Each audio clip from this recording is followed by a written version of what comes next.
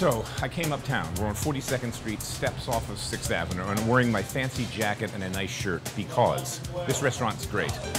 Opened up a year ago, got three stars from the New York Times. This restaurant, Gabriel Kreuther, named after the chef. He's Alsatian. You might know him from the Modern, where he was before this for years. He got three stars to the Modern, really made his name in New York City.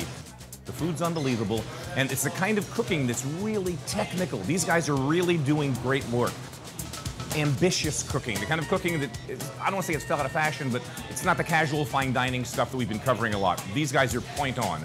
So, a day in the kitchen with this guy, lunch, dinner, the pastry chef, the whole shooting match. That's today's show. Stay tuned, it's a good one. I'm Mike Colameco, industry insider. Been in the business my whole life, and I know what it takes to succeed. Each week, we'll take you into real kitchens, filmed in real time. Backstage passes to a day in the life of chefs, restaurateurs, and their teams. The competition's fierce. Careers, life savings, and reputations hang in the balance. These are my people, and this is their passion. And that's what's next on Mike Colameco's Real Food. Mike Colameco's Real Food is brought to you by the continuous, generous support of the following underwriters.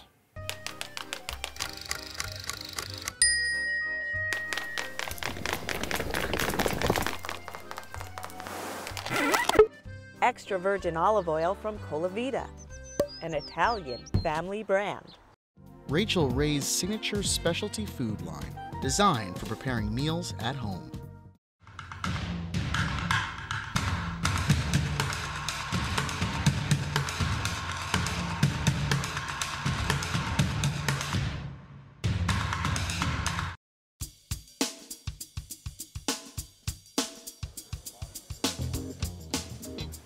I'm Alsatian. I grew up in Alsace on a farm.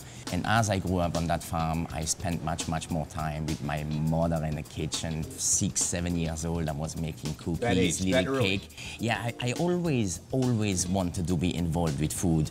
And I remember my grandfather always asking me, what do you want to be? And I always wanted to be a chef. So, Chef, we're gonna make s- sea trout. We're going to make the cured Tasmanian sea trout tartare. So, what's been done to this so far? That has been cured with salt, with salt and sugar and uh, lemon. How long? For about six hours. And then uh, we season it with chives, a little bit shallots. And here we have peas, bishop and peel, pancetta, trout eggs, and a little bit mint. And the peas are just peeled, shelled, blanched. Peeled, shell, blanched, exactly, Okay, pea foam. pea foam. And then we have all the little stuff here. A little lemon, lime, Again, acid. yeah. This is prosciutto chips, dill, Yeah, a little bit of dill. a little chip of bread, Bread, yeah. just for the crunch, Just egg yolk. egg yolk, Nasturtium blossoms. daisies, nasturtiums. It's like a, a play on spring. Then we have a little bit radishes, Color and crunch. color and crunch, yeah. A little bit dill oil. So here we have it. And that's going to be served then, and at the table they're going to finish it with, we call it horseradish snow. It's horseradish juice with a little bit cream in it, and we do it kind of like a granite almost. And Cold, crunchy, Cold, icy, crunchy, and the textural spicy, component, yeah. and spicy. And the spiciness from And the you heat, see yeah. horseradish a lot in Alsace. in Alsace, it's really a staple of Alsace. Chef, describe this to me as you're putting it together. It's a halibut, and it's sitting on top of a celery puree with chopped hen of the woods in it. And here we have pickled hen of the woods and roasted hen of the, hen of the woods for the for the, the, the differences in, in, in taste and balance. And here you have the sauce, cockles, shrimps, wine, a wine sauce basically, right? Riesling? Riesling. This is a, a huge favorite of the people right now. I had a lot of people in my family that were part of the food world. I had an uncle who owned a hotel restaurant in the mountains. I had another one who owned a pastry shop. I have a third one that was a butcher in butchery. Then my grandfather on my mother's side, he had a goose farm, foie gras farm, basically. Hmm. So I grew up in that world of cooking, in that world of still slaughtering pigs at home. In the, I grew up with that, making sausages, making all that stuff through history, when you go to the best cooking in Italy, in France, the best, best, best cooking all stems from farm people, from very poor backgrounds. That's a sturgeon and caviar uh, tart. It's a tar- tart shell with sauerkraut, smoked sturgeon, mousseline on the top, and caviar, and then we smoke it under the wine glass. Applewood smoke. Apple. Applewood smoke, yeah.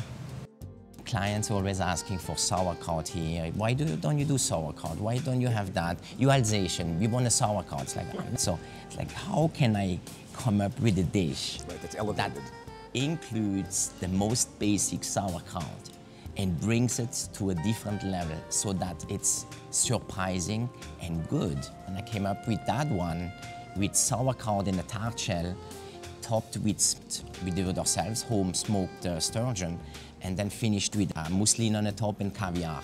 So we have a dish that is at the base of the most basic thing from the farmer and one of the highest elevated ingredient in the world. I came up with that wine glass upside down and smoking it because the, the, the, the fish is smoked. So there's something is happening. When you, when you eat, I believe that you, the, you have the eye, you have the smell, you have the taste. So if, if we achieved with that dish, we achieved of getting attention from the people when it comes to the table, having that smell, and then when they go into it, they like, wow, you know, it's it's a couple bites, it's a couple ingredients, It's but delicious. it's- it sings in your mouth. Interesting you have a caviar section of the menu. Why that choice? Yeah, I mean, caviar is a luxury item. Right. It's, it's a rare item and it's an expensive item. But it's on the menu because I believe that people who go out and want to have a great time, if it's for an anniversary, it's for a birthday, it can be a special evening. If I have a special moment, I want to start with caviar and a glass of champagne. So we offer that. I love caviar. I love uh, I love truffles. I love foie gras. so I love these things. Champagne. Champagne. So I love that stuff. If you have caviar, you have to have foie gras. You have to have foie gras. I'm, I'm, of, I'm from the region where, you know, probably people eat the most foie gras in whole France. It's literally part of our DNA. So very little fat in the pan, just hot black steel pan, put the Yeah. foie in and let us let it sit. Yeah. Usually I put a drop of fat, sometimes not. Like to add a little, a little piece of, uh, a little bit grease to start them. That way it doesn't burn right away. So we're gonna put it a little bit in the oven. You know, when I grew up, we had foie gras maybe twice a year. So it's something that you were looking forward to. You had it maybe on Easter and maybe at the first of the year. Perfect. Salt, cracked black pepper. I found with the onions and with the basil especially that the nutmeg is a great flavor. So then we're gonna plate it. Chive blossoms, marigold flowers. We have the onions, And they're just wilted down. just wilted down with a little bit lemon juice and pepper. This is pickled green strawberries. A little bit foie fat. Foie gras fat. Yeah. And it's uh, a little bit of the pickling liquid of the strawberries, basically.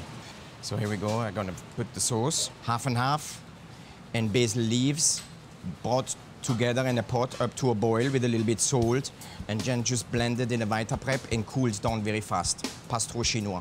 That's the base of the sauce. You can smell the basil, super Yeah. fresh from here. That's that's great, chef. Really, really, really good. Through my whole process in my whole career, my goal was always to one day open my own place. Everyone's. I think that's everyone's. And I dream as a think chef. everybody who's going into that business, it's either being the, being the, the chef or trying to open your own place. You go three, right? That was always my goal. When you create a new place, then you need to be patient to make things work. You have to create a team. There's a lot of things at the beginning that you start from scratch need to happen, and it takes time. It's uh, the beef tenderloin. We marinate it in a little red wine for about 20 to 30 minutes. Roast it, standard, butter, thyme, garlic. Off to the side is a calf's head cannelloni. And we, we basically gratinate it with a standard Gruyere Mornay. And then we have some romaine that lightens it up a little bit, just shocked in ice water to make it extra crispy, with Parmesan breadcrumbs, a little anchovy dressing. The puree is kohlrabi, so we have pickled pieces of kohlrabi too to cut through all the richness of everything. There's a few other guys in this team that you guys Yeah. have worked together for, it connected for a while, right? Very long time. We all feel good working around each other. We believe in each other, and we like working together. So, as soon as Chef was leaving, the natural progression was like, you know, we all went to the Modern to work for him. So if he was leaving, we want to find out where he's going. Kind of how it works. Yeah. I mean, most of the time you're working for the chef, not the brand. Exactly. Not the address. Yeah. Whatever. The brand just happened to be good, but we were all Yeah. there for the chef. There's a, there's a trust, there's understanding. It's so difficult to put a team together that works, you know, and uh, there's so many intricate parts. We all know each other from, from before, and we share the same passion of the restaurant business. So it makes it easier in a way. Chef, what is that? That is a small meringue we do uh, uh, with a fresh um, raspberry uh, puree. And your pastry chef's great. He was with you at At the modern yet. super talented. His family had his own pastry shop in France, so he really grew up in that business. My father was a pastry chef. Ah. When I, I was nine, I want to cook. Every day I never consider it's a job. But what are you making here? What do we have here? What is Donc, this little? This is the white chocolate mousse. Donc it's a fresh puree. Where'd you get this moldy thing? This design? Where we, buy, this? we buy it. Alors, the first one I, I, I got when I was young was from a radiator. A radiator. Yeah, I worked with something very heavy. It was a piece of radiator. Man, got it this way and that way. And... That's a tuile. I take white chocolate, pistachio, and the meringue, and I say I'm going to invent a new texture. Donc I just add the three together and, And roll it. and roll it. Yeah, and it's got that beautiful sheen to it too, huh? It's visual first. It's very visual. A small vanilla stick, our marmalade of bergamot, and all the dish has been created around the, the bergamot. The kitchen we all use all the time this flour, and I feel it was nice. And I say I want to have a dessert like a beautiful lady dessert, and we call that um, fleur du temps. Lord du Temps. Imagine if you need to turn that by hand. You need a third hand. First of all, how did you find this on eBay? Uh, this one, no, cross the street, You bought this across the street? cross the street and Fifth Avenue. So retro looking. It looks like it's from the 1950s. Yes. I mean, it's a it's got speakers built in. It's a portable record player. I was two solution, or I um, I move by my hand. Next time I give you my cell number, I've got some old turntables at home that I can give you for free. I got some. I, I collect vinyl. I've got all. They don't have styluses, but I'll give them to you for free. You let me know next time. I'll drive one up. So you can see his passion. Yeah, yeah. He's just old school guy. He loves he loves to make chocolates. You, you need to know it's a three-day procedure. Three day. Okay, here she's unmolding like uh, three days of work for you. Three, this is the, this is the last day. Donc it's uh, natural colors with butter cacao. And the shine's gorgeous. I mean, the color, the, the temper. Because the butter cacao. Yeah, it's beautiful. I mean, look at that. It's just those white ones are crazy. It looks like a little mini, like macaroon, right? It's a macaron. The color has a meaning. It's a meaning of what you're going to get inside. The white one with the yellow, the yellow meaning the pineapple is inside. The white meaning the coconuts. And first you sell with your eyes. But the follow-up is the test. And the most important is the test. We do this one uh, for New York. The first things you see in New York is a pretzel stand everywhere. And this is like the street, the street chocolate. We have the cassis ja- jam, peanut butter ganache, and then a pretzel crunch. You're gonna cut one open for us. There we go. There was a crunch in there. Hello. to do that pretzel biscuit, this is New York for me. We have a very good connection um, with what we do. You don't see a big gap between the savory and the dessert. It keeps going at the same level, at the same tone, you know. You know, the kuglof is uh, like the, the grandpa of the baba. The, the shape is a traditional form from, uh, from Alsace, Same mold, same look. and the, and the mold is uh, what makes the kuglof. If we start from the beginning, you do a roll, you have some flour, and uh, with uh, your elbow, you go,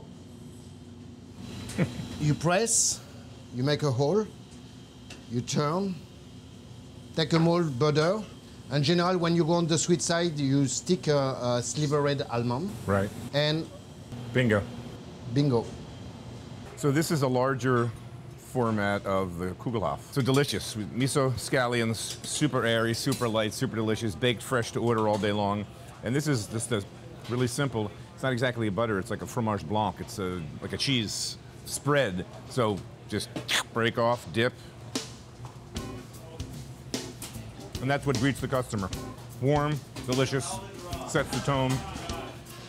That's beautiful. One of the, the best things working for Chef is he likes giving people ownership. If he sees you working hard for him, then it's and you just go up to him, chef, I want to do this, chef, I want to do that, and he goes, yeah, let's let's Show me- figure it out, let's try it. Show me the dish. Yeah, exactly. Do the work, and we'll see if it works out. It's got like two hand thing going. See that, like the right hand and the left hand thing going? That's like, this is really old school. Got the old turntable, the two hand spinning thing, a cork. But I'll tell you what, that looks great. We found the name of the, the dish and we name Decadent Decadent. Decadent. because it's Okay. really decadent. Okay. It's butter everywhere, it's rich everywhere. Our first support is um, lemon verbena meringue and we start to fill up with our creme brulee. Uh, chocolate mousse with an insert of uh, blackberry on the middle. And what's the color on the top? Just, just a puree? Is a gelée, Gelée. with a pectin Okay. of blackberry. Right. Some gold leaf. Just, Why not? Just to, uh, to give some more decadence. What is that? A small stick of um, same butter, sugar, and phyllo dough. The phyllo dough uh, caramelized. On the top. I don't even want to get near this stuff. I think I'm going to knock something over or break something or. What is this called? The fudge tuile. I call that the fudge, tuile. And you try to feed that between. We look good? looks insane. Look good. Some blackberry to remember fresh. I believe we need always uh, to see some fresh fruit, and I love fresh fruit around the plate. Some lime lemon sugar, just lime lemon, and uh, yep, just very uh, flavorful, just for the color, and give a little bit of acidity to the to the dish. Up, chocolate sorbet. Et voilà. Voila. Gorgeous, man. What can you say? That's gorgeous.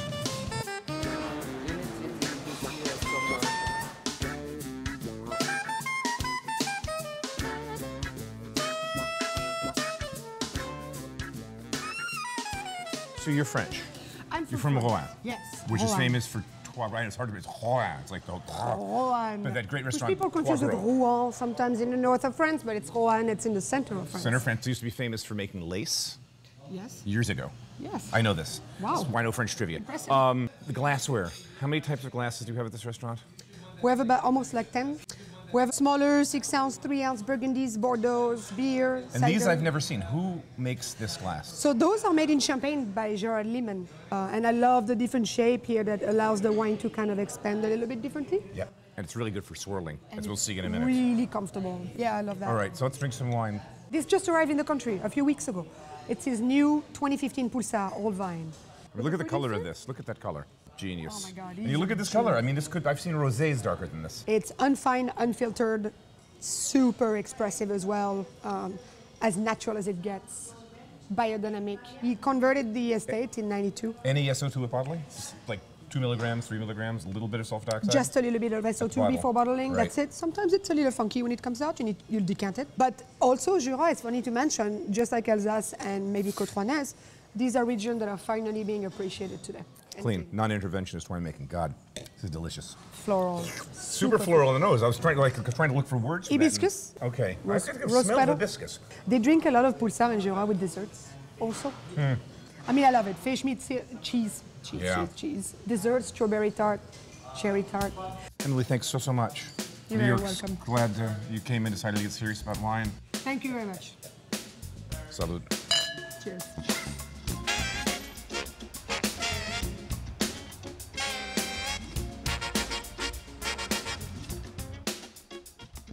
How did this spot come up? Because this sat vacant for a long time. So I, I went to on the quest of looking many, many, many spots. I was always working in Midtown, and this is kind of the edge of Midtown. So I was, you know, uh, comfortable in being in that area. I loved the fact that there is a park across Right. the street. Right. Uh, nobody's going to put a building on the top of the park, and uh, you know, and the subways, double traffic, everything was there to make a good destination place.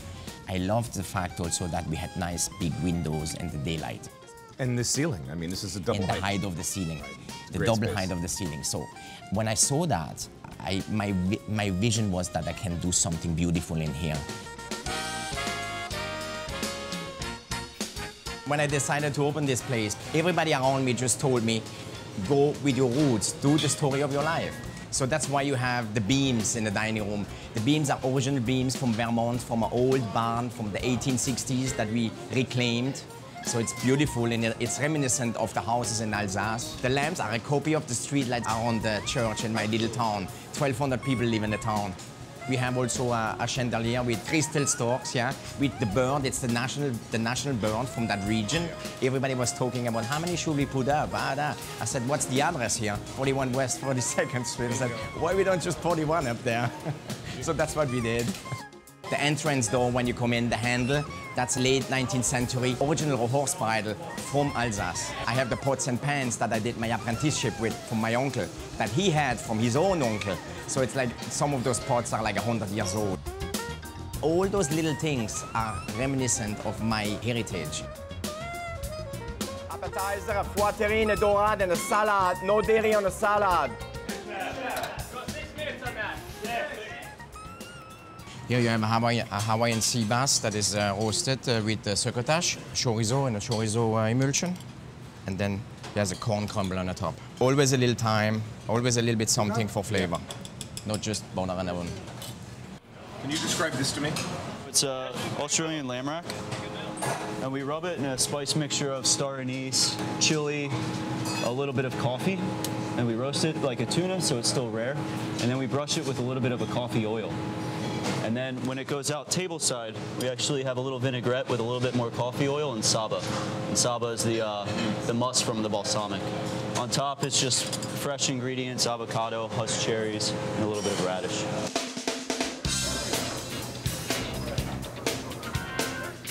People that don't get how heavy a lift an opening is, right? Oh. Like, like, like seven days a week for five, six weeks leading up, no sleeping, 18-hour day kind of stuff. Yeah, it's it's nonstop. It really is nonstop, and it's the most crucial at the first year too, because that it's really make or break. There's no real recovery from that. You were training staff on the floor. Every single day you're doing that. How to present the food, how to carry the plate, that every day. Every day, half an hour before the shift opens, we do mock service and mock training, curveballs, because when it's the service, it's not training time, it's, it's, it's show time. So you have to be ready for that. These days when you open, you better have your game right day uh, one. Especially working with a pedigree of Chef Gabriel himself. So, I mean, people expect a lot, and we have to deliver. Cool. So the chef, frog leg dish that you do in advance, put in the mason jar, then finish it at pickup. All I do here is just sweat the mushrooms. Chanterelles. Yeah, chanterelles. Here I have fresh onions. Now I'm gonna put the shallots in. Now I'm gonna add a little bit Alsatian white wine. Just a touch.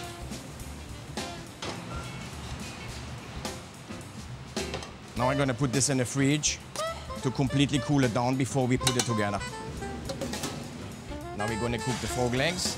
I get them from, Flo Fresh from Florida. Fresh from Florida. It's crazy, right? Yeah, Everglades. Everglades, they're great. They're amazing. Now I'm gonna put the garlic in. The garlic, gonna sweat with the frog legs. I'm gonna add a little bit more butter now. And then the same idea as the mushroom. We're gonna put it in the fridge to cool it down. The onions are just sweat down with a little bit uh, grapeseed oil and uh, salt, a little bit pepper. Those gonna go in the bottom of the jar.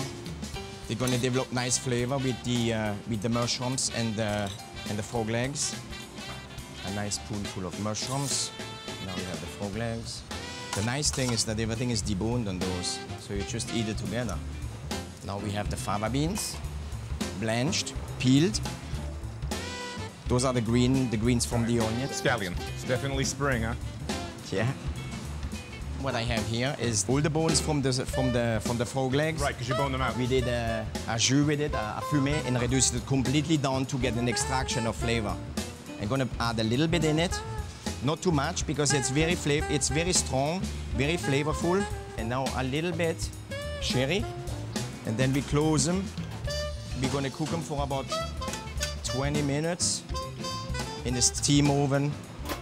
So here you're gonna have Florida frog legs with chanterelle mushrooms, fava beans, spring onions, all cooked together with a little bit garlic. When it comes out and we serve it, we serve it with a potato foam and some puffed grains at the end on the top. And now we're gonna finish it with parsley root, foam, puffed farro, and truffles. And then when you eat it, just eat it with a spoon and go all the way down. Mix it, kind of like dig Yeah. down and have all the flavors together. Thank you very much. Like a little nod to farm cooking.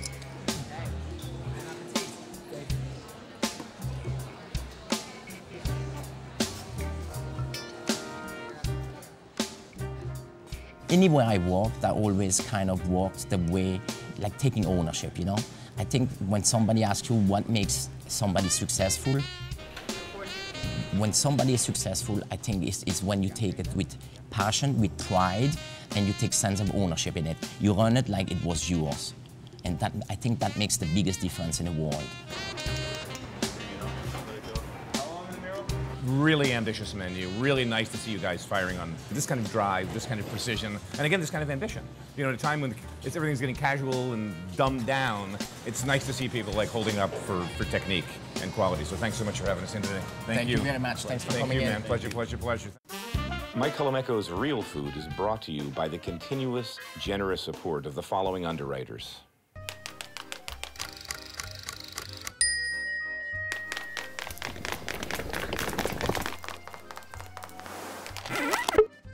Extra virgin olive oil from Colavita, an Italian family brand. Rachael Ray's signature specialty food line, designed for preparing meals at home.